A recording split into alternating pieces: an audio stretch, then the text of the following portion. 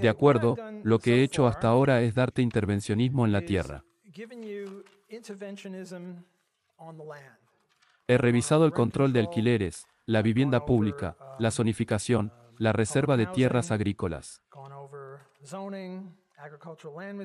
Henry George, ahora lo que voy a hacer es colarme en el BP bajo la rúbrica de que es tierra en rápido movimiento.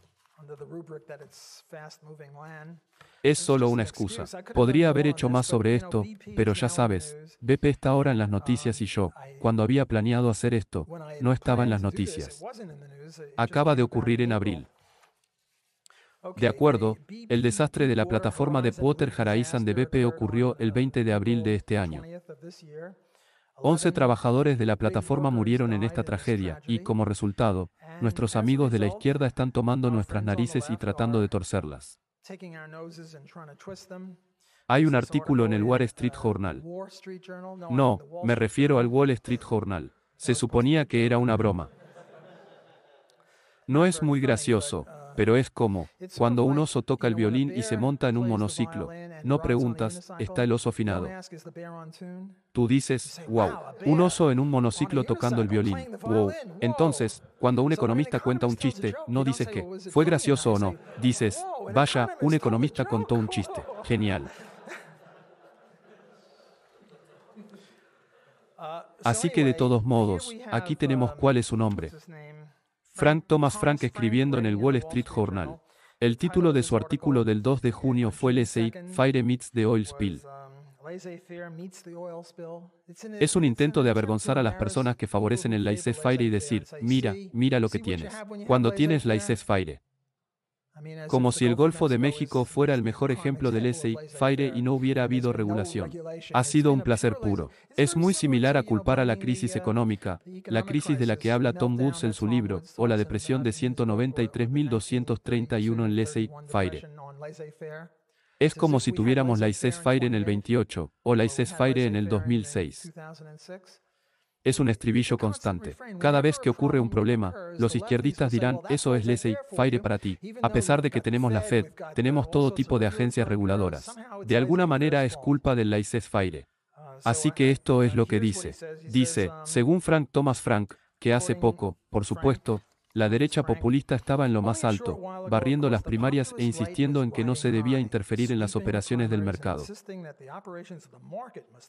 Esa intervención gubernamental, incluso de la más mínima clase, disminuye peligrosamente la libertad humana. ¿Y dónde estamos ahora? Él continúa. Aquí hay otra cita de él, en abril, por ejemplo, el representante Ron Paul, republicano de Texas, saludó la política de perforación del presidente con una sugerencia de que se aboliera la Agencia de Protección Ambiental y se liberara el mercado de la energía de los burócratas para que pudiera responder a las demandas de la gente y las decisiones de los inversores privados. Pero, ¿qué pasa con los asistentes al T de hoy, que darán un paso adelante ahora y exigirán que el mercado de la energía sea rescatado de la esclavitud regulatoria? Supongo que aquí estoy. Voy a intentar hacer eso. Voy a tratar de rescatar el mercado de la energía de la esclavitud regulatoria, porque ha habido mucha esclavitud regulatoria. Y la forma en que presentaré este tema es que miraré el antes, el después y luego, cuál es la solución. ¿De acuerdo? ¿Qué estaba pasando antes de que ocurriera esta tragedia? Lo que estaba sucediendo antes era que no permitían que se realizaran perforaciones en la Reserva Nacional de Vida Silvestre del Ártico de Alaska, que es una vasta área de Alaska donde hay mucho petróleo y no se producen derrames de petróleo en la tierra, por lo que sería más seguro perforar allí.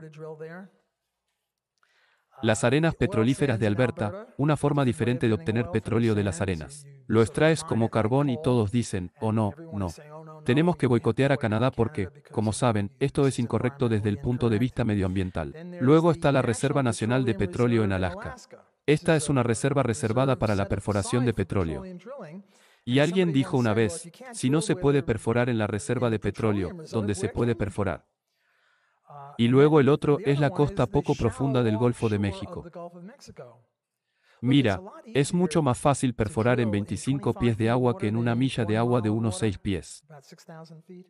Y si hay un problema en 25 pies de profundidad de agua, es mucho más fácil de resolver que cuando el problema está a una milla de distancia. Pero los ambientalistas fueron fundamentales para asegurarse de que no se pudiera perforar cerca de la costa y que se tuviera que perforar en aguas profundas y en pozos. Así que todos contribuyeron al problema indirectamente. Luego está una de mis agencias reguladoras favoritas, el Servicio de Administración de Minerales. MMs que estaban en las noticias antes de este problema, y alguien sabe lo que estaban en las noticias para ir de fiesta y hacer. Hacer frente a las personas que son reguladores.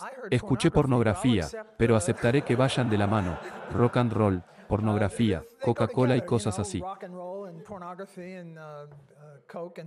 Eso es lo que estaban haciendo. Se supone que deben regular a estas personas, pero salieron en las noticias por pornografía y prostitución. Y no es que esté en contra de esas cosas. Creo que deberían ser legales. Pero ya sabes, si vas a tener una oficina reguladora que haga esas cosas en el tiempo de la empresa en lugar de regular y luego te vas a quejar de que es capitalismo del SI, FIRE en el trabajo, es un alcance difícil. Tenían esto, un folleto o libro de 582 páginas llamado Plan Regional de Respuesta a Derrames de Petróleo, Golfo de México, que impusieron a BP y a todos los demás perforadores, y ni siquiera menciona derrames de petróleo en aguas profundas. Así que aquí tienes una oficina reguladora que tiene esta cosa de 600 páginas. No anticipa este problema. Estos son los reguladores. Me recuerda lo que pasó con Katrina. FIMA y el cuerpo de ingenieros del ejército entre ellos mataron a 1.5 personas debido a los diques. No fue culpa de Katrina. Katrina realmente nos extrañaba. Fueron los diques que se desmoronaron y nuestra FEMA y el cuerpo de ingenieros del ejército aún estaban en el negocio. Eres maldito Tuti. Lo son porque son agencias reguladoras del gobierno. Si fueran agencias reguladoras privadas, eso sería todo para ellos. Pero son gubernamentales. El MMS. No puedo mentir. El MMS ya no existe. Se han cambiado el nombre. Mira, la regulación funciona. El MMS se ha ido. Iba a decir que el capitalismo funciona. Ninguna regulación funciona. Ahora se le llama la Oficina de Administración, Regulación y Aplicación de la Energía Oceánica, o para abreviar, la Oficina de Energía Oceánica BOE. Es algo así como una novela de Iron Rand en la que sigue ideando estas oficinas para regular los ferrocarriles o las oficinas para regular el acero. Ese libro fue escrito en 1957 y realmente tiene este desastre de la plataforma de Potter Haraisan a la vista. Muy parecido a la vivienda pública. En lugar de aprender sobre el comercio y aprender sobre los recortes de ingresos, piensan que son rascacielos. No, cambiarlo al BOE no va a ayudar en nada. El número de inspectores fue de 60 para examinar cuatro instalaciones, lo que uno pensaría que son muy pocas si va a tener una buena regulación. Pero en los últimos 20 años el número de inspectores se mantuvo igual en 60. Y, sin embargo, los pozos de aguas profundas aumentaron un 900%. Ahora no estoy seguro de si estoy contento con esto o infeliz con esto. Me di cuenta de que en la agricultura solía haber más agricultores que miembros del Departamento de Agricultura y ese tipo de intercambio. Ahora hay más reguladores que agricultores casi. Así que no estoy seguro de si estoy a favor de seguir exigiendo un monopolio sobre la regulación y mantener a muy pocas personas allí o no. Es algo en lo que deberíamos pensar. Pero el punto es que lo que están diciendo es que esta fue una era del SI Fire, pero no era una era del ICES Fire. Esto era algo muy regulado o al menos poco regulado por el Cuerpo de Ingenieros del Ejército de los Estados Unidos, la Agencia de Protección Ambiental, el MMS, el BOE y los grupos ambientalistas de izquierda que siempre están tratando de mejorar el mundo.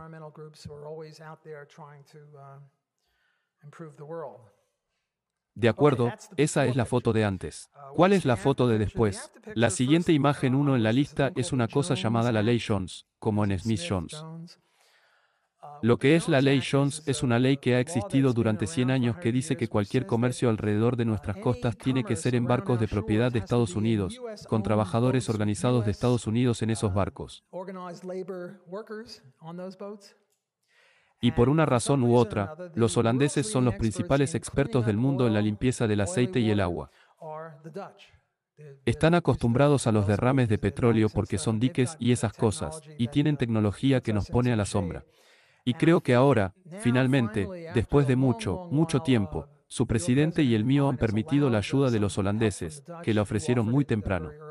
De nuevo, muy similar a la situación con Katrina, donde todo tipo de personas vinieron a ayudar. Venían con grandes botes llenos de camarotes para personas sin hogar. Vinieron con agua, hielo, jugo de naranja y esas cosas, y FEMA los devolvió. Lo mismo ha estado ocurriendo con la administración de Obama al rechazar la ayuda para el agua.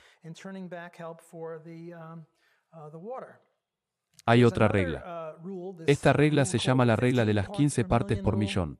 Esta es la idea de que es ilegal verter en el Golfo de México o en el río Mississippi o algo así, cualquier agua que tenga más de 15 partes por millón de impurezas.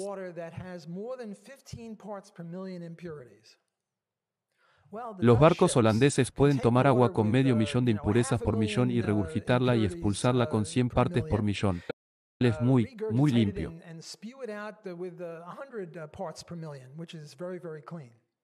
Pero no se les permite hacerlo debido a esta regla. Entonces, lo que hacen nuestros barcos tan ineficientes es recoger el agua, ir a cientos de millas de distancia para tirarla a tierra y luego regresar y es un proceso muy, muy lento. Así que es como si estuvieran tratando deliberadamente de empeorar las cosas al aplicar esto y no decir, esta regla de 1.5 millones, la regla de 15 partes por millón, estaba bien en circunstancias normales, pero ahora tenemos una emergencia, tenemos que disolverla temporalmente, o disolver temporalmente la ley Jones. No, esta gente tiene sus principios. Vamos a seguir con esto, incluso se arruina el medio ambiente. Luego tienen esto, una moratoria en la extracción de petróleo, que felizmente han detenido. Pero como Bob Hicks deja en claro, los accidentes industriales ocurren. Si quieres construir un edificio alto, o quieres construir un puente o una carretera, o una gran granja o una mina, a veces matan a la gente. Haces lo mejor que puedes. Y bajo el laissez-faire, habría un mínimo de esto porque los incentivos serían correctos y la información sería correcta. Pero solo porque algunas personas mueran, no puedes detenerlas todas. Si tienes un accidente de avión, significa eso que ya no podemos tener aviones. Si tiene un accidente automovilístico, no más automóviles. Es algo muy radical, pero no muy aceptable. Vale, ¿cuál es la solución? La solución, a mi modo de ver, es privatizar el Golfo de México. En este momento, el Golfo de México es propiedad del gobierno, el gobierno de los Estados Unidos con un poco de ayuda del gobierno mexicano, o no está gobernado. Y cuando no se gana, se tiene la tragedia de los bienes comunes. La tragedia de los bienes comunes es que tiendes a abusar de las cosas. Es por eso que la vaca nunca estuvo a un millón de millas de la extinción, porque era de propiedad privada. Si le disparaste a una vaca hoy, no la tuviste mañana a la vaca hoy era muy alto, mientras que el búfalo no tenía dueño. Si le disparaste a un búfalo hoy, no lo tuviste mañana de todos modos. Así que el costo de filmarlo hoy fue cero. Así que bien podrías dispararle. Así que los búfalos se estaban extinguiendo. La vaca nunca estuvo a un millón de millas de la extinción. Tienes un problema similar con el Golfo de México. Si el Golfo de México fuera propiedad de la Corporación del Golfo de México, la Corporación del Golfo de México presumiblemente tendría más cuidado con este tipo de cosas que con una situación sin dueño. Ni siquiera creo haber oído hablar o considerado nada sobre el Golfo de México antes de que ocurriera este problema. Mientras que si la Corporación del Golfo de México fuera propietaria del Golfo de México, comería, viviría, respiraría y dormiría. Golfo de México, y presumiblemente cuidaría mejor de lo que poseía. Y si no lo hiciera, perdería dinero y lo compraría otra persona. No solo tener un cambio de nombre como en el BOE para el MMS. ¿Cómo haría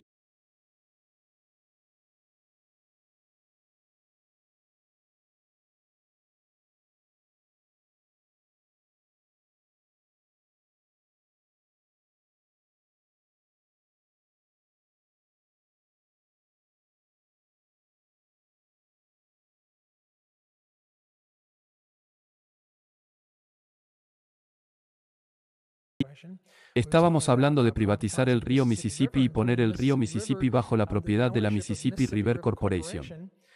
Es un poco difícil averiguar quiénes eran los legítimos propietarios del río Mississippi desde el punto de vista de Dios. Con pleno conocimiento, podríamos decir exactamente quién usó el río Mississippi, y esos tipos lo poseerían en proporción a cuánto lo usaron. Una alternativa podría ser llevar a todas las personas que viven a 5 millas del río Mississippi y todas esas ciudades río arriba y río abajo. Y cualquiera que tenga un barco o haya trabajado allí. Y digamos que hay 25 millones de personas que acabo de describir. Haces una nueva corporación con 25 millones de acciones y se las das. Y ahora son los dueños. Y puedes comprar y vender acciones en el río Mississippi. Hay un chiste, te venderé el puente de Brooklyn. Para los libertarios, comprar un puente es algo razonable porque si está en manos del gobierno, va a ser un desastre. Y si está en manos privadas, tendrá las estructuras ordinarias de oferta y demanda, precios y ganancias. Entonces, una forma de privatizar el Golfo de México es llevar a todos alrededor de Texas, Luisiana, Florida, ciudades mexicanas. Gente que tiene barcos y transporta cosas por ahí. La gente que ha estado cavando minas y perforando petróleo en el Golfo. Y tomemos a esos 25 millones de personas. Solo estoy adivinando los números y diciendo, de acuerdo, ustedes ahora son dueños del Golfo de México y buena suerte. Creo que esa sería la situación libertaria. Se me acabó el tiempo. Espero que os haya gustado.